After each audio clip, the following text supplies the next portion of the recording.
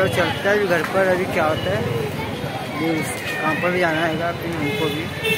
और बीमार पर खर्चा करने का नहीं पता, बहुत पैसा खर्चा किया।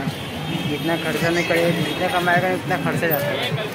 तो भाई भाई अभी देखते हैं सरकस का।